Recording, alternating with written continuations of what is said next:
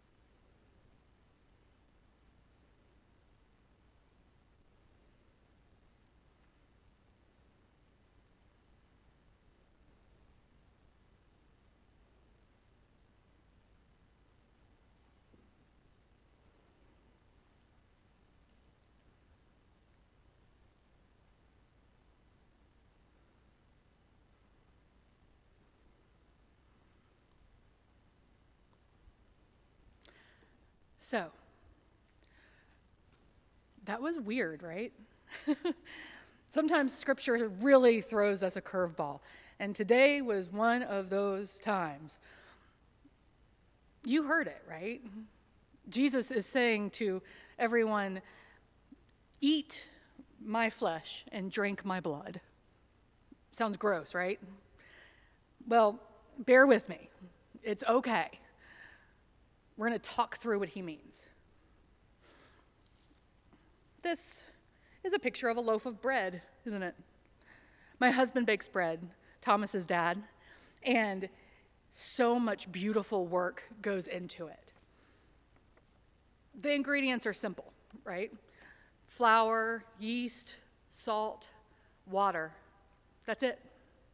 But when done right and prepared so carefully, it turns into something beautiful. It rises in the oven, it gets hot, it smells good, it tastes so good when we eat it. It nourishes us, it gives us energy. We need bread. Anybody ever had one of these? It's a grape juice squeezer, you know, one of those pouches. Or one of these, a juice box. Now, we don't make juice at our house, but juice is like bread, it's made from very simple things, or really just one simple thing fruit. Fruit and time. Those are the two ingredients to make juice, or as Jesus was talking about, wine, which is like juice for adults. Am I right? So when Jesus is saying, Eat my body and drink my blood, he's not really talking about like gnawing on his finger or drinking a cup of his blood like we're vampires or something. No, no, no, no, no, no, no. Put that out of your mind. I want you to think about bread and I want you to think about juice. Jesus is saying, everyone, you have this common experience. Every time you gather around a table and eat bread and drink wine or juice, every time you do that, remember me, Jesus is saying. And don't just remember me, but know that as you're remembering me while you eat, which is something we all do every day, while you consume this bread and drink this wine, know that, like the bread, which you have now eaten and swallowed and digested, it now lives in you. And in the same way that when you eat and drink, that food and that drink gives you life and energy, so does Jesus. Jesus is saying, if you remember me while you're eating, then I will live in you. I'll be in your heart, I'll be in your mind, I'll be in everything you do. I'll never leave you. And you guys, that's really good news.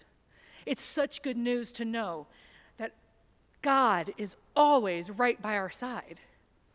I mean, it's why we're lighting candles, right? Just another reminder the bread and the juice. It's just another reminder that no matter where we go, we can't escape God. God is with us when we're happy and when we're sad.